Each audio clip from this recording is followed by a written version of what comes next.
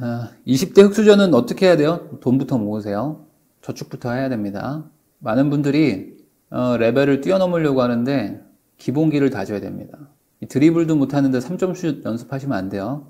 대부분 20대 분들이 답답해 하실 텐데 요즘에 지금 비트코인이랑 뭐 장외 주식 뭐 이런 거 미국 주식도 막 초고속 성장주 뭐 이런 약간 그 뭐죠? 동전주 같은 거를 하고 있는 20, 30대가 생각보다 많다고 하더라고요. 그러니까 뭐 비트코인 투자가 무조건 나쁘다 뭐 이런 건 아닌데 20, 30대 특히 남자분들, 여자분들은 훨씬 더 장기 투자인데 남자분들은 초단타 매매나 막 그 동전주, 잡주 이런 걸로 많이들 가셔가지고 오히려 20, 30대 여자들보다 20, 30대 남자들이 투자 성과가 훨씬 안 좋다는 기사를 봤어요. 근데 그게 당연한 것 같은 게 왜 그러냐면 제가 이제 상담을 하거나 뭐 이렇게 만나봐도 20, 30대들 남성들이 되게 조급해. 조급하고 엄청 답답하고 막 분노가 있어요, 지금. 이렇게 하다가는 집도 못 살 것 같고, 집을 못 사면 뭐가 문제냐면 결혼도 못 할 것 같은 거야. 그러니까 남자들은 아직까지도 사고방식이 뭔가 집을 해야 되고 최소한 전세금도 어느 정도 좀 내가 충당을 해야 될 것 같다는 생각을 갖고 있기 때문에 지금의 이 돈을 못 버는 이 상대적인 어떤 박탈감에서 끝, 그치는 게 아니고, 야, 이러다가 내가 결혼도 못하고, 애도 못 낳고, 인생이 그냥 완전 그냥 이대로 가겠는데? 라는 그 뭔가 내 남은 미래에 대한 불안감까지 더 엎어져가지고, 더 이 엄청난 그 파도가 온다는 그 부담감을 느끼고 있는 것 같아요. 그러다 보니까 일확천금을 노리는 거죠. 한 방에 열 배 뛰기, 막 이런 걸 하는 거야. 근데 실제로 그런 걸 한 사람들이 옆에 있어. 어. 뭐 1, 2년 전에 비트코인 샀는데 벌써 막 10배 벌었다. 아니면 뭐 비트코인을 뭐 또 선물로 투자해가지고 뭐 몇 억 가지고 막 몇백억을 벌었다. 뭐 이런 사람들이 나타나니까 나도 저거 해야 되겠다. 그러면서 거기에 막 달려드는 분들이 많은데, 어, 저는 이렇게 말씀드리고 싶어요. 뭐냐. 이 투자금을 늘려야지 수익률을 늘리려고 하지 마세요. 근데 많은 분들이 수익률을 늘리려고 그래. 투자금을 늘려야 되는데 투자금을 늘리는 건 고통스럽고 귀찮고 하기 싫거든, 이거는. 버는 돈은 빤한데 저축을 많이 하려니까 아껴 써야 되거든요. 근데 아껴 쓰려니까 고통스러워. 데이트도 못 할 것 같고 내가 좋아하는 뭐 어? 취미 생활도 못 하고 맛있는 것도 못 먹어. 고통스럽죠? 친구도 못 만나고. 그래서 이 투자금을 늘리는 이 저축을 할 생각이 없어. 뭘로 가냐면 일로 가.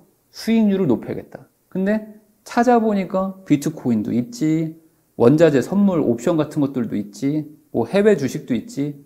요즘엔 뭐 찾아보면은 너무 많거든요. 막 다섯 배 뛰기 이런 게 너무 많아. 테슬라가 뭐 다 테슬라 주주야 요즘에. 에? 맞죠? 아니 뭐 테슬라가 뭐 나쁘다는 게 아니고 작년에 뭐 테슬라가 몇 배 올랐는 줄 알아요? 하면서 왜 미국 주식 안 하죠? 이런 20, 30대가 너무 많단 말이죠. 근데 테슬라가 또 막 빠지니까 조용해져. 비트코인 막 올라갈 때는 비트코인 가자 하면서 막 사람들이 막 엄청나게 막 올리죠. 수익 인증합니다 하면서 막 몇백 프로 막 벌었다고 막 몇십 프로 벌었다고 올려놓고 갑자기 또 빠지니까 조용해져. 그러니까 많은 분들이 이 수익률에 집착하는데 그러지 마세요. 이 수익률이 높은 거는 이렇게 말하면 돼. 변동성이 큰 거야. 단기간에 급등하는 거는 변동성이 큰 거지 안전한 게 아니거든요. 그러니까 이쪽으로 가잖아요. 그러면 필연적으로 오르는 때가 크면 내려가는 것도 크단 말이죠. 그런데 나는 가뜩이나 저축도 못하는 사람인데 변동성 큰 데 가서 놀다가 잘 되면 좋죠. 잘 돼서 탁탁탁탁 했는데 3배, 5배, 6배, 10배가 됐어. 근데 마침 또 잘 빠져나왔어. 그럼 너무 좋지. 근데 한 3배, 4배, 5배 먹었다가 갑자기 또 꼬꾸라지기도 하고 변동성이 너무 크니까. 근데 제일 최악은 뭐야? 고점에 들어갔다가 변동성 큰 데서 빠져버리면 답이 없어. 답이 없는 거예요. 그게 더 문제가 뭔지 아세요? 이 사람은 저축력이 없는 사람이에요. 원래 저축도 못하는 사람인데 기껏 모아놓은 2, 3천만 원을 날려버려. 그러니까 저축이 잘 되는 사람이면 야 그래 뭐 천만 원 날라갔네. 그러면 몇 달 만에 모아야 되겠다. 아, 금방 모으지 뭐. 이렇게 툴툴 털고 나올 수 있는데 이 저축도 못하는 사람들이야. 20, 30대들 남자들. 근데 이걸 몇 년을 모았어. 막 4년, 5, 5년을 모았어. 근데 변동성 큰 데 가서 한 방에 막 20, 30% 마이너스 맞고 탈탈 털려서 나오는 거야. 그럼 이거 다시 모으려니까 한 4년 걸릴 것 같아. 한 3년, 4년 걸릴 것 같아. 답이 안 나오니까. 그래서 제가 다시 한번 말하지만 수익률 높은 데로 가는 것도 뭐 하실 수 있으면 하세요. 근데 수익률이 높은 건 필연적으로 어려운 곳인 거예요. 무서운 곳이고 위험한 곳인 거예요. 그러니까 대다수가 가서 성공하기가 어렵단 말이지. 수익성이 높은 변동성이 큰 데들은 소수가 성공하는 데고 수익성이 낮은 곳은 다수가 성공하는 데요. 물론 그 다수가 성공하는 그 성공의 크기가 너무 작은 거지. 너무 작지. 이래서 언제 부자 됩니까? 라고 하실 수 있죠. 그러면 이 작은 성공의 크기에다가 투자금을 많이 넣으면 돼요. 수익률 곱하기 투자금이 내 소득이니까, 내 이익이니까.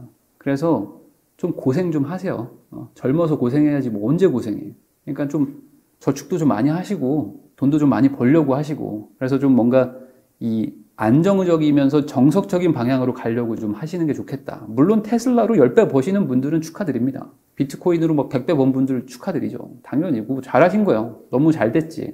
근데 그 사람만 보고 따라가는 수백 명들이 마이너스 몇십 프로 맞고 탈락하는 게 너무 많은 것 같아가지고 아, 좀 걱정이 됩니다. 차라리 20, 30대 여성분들처럼 그냥 저는 그냥 삼성전자만 사는데요. 이게 100배 나아 진짜. 그게 100배 나을 수 있어요 진짜.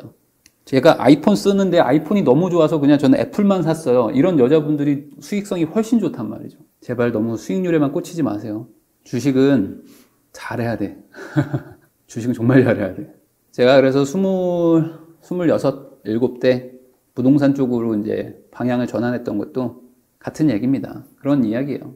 수익률이 낮은 안정적인 시장에서 투자금을 왕창 넣어가지고 벌어야겠다. 라고 생각을 했었던 거죠. 근데 많은 사람들은 투자금이 없는데 고수익률로 가서 된통 당하고 나와.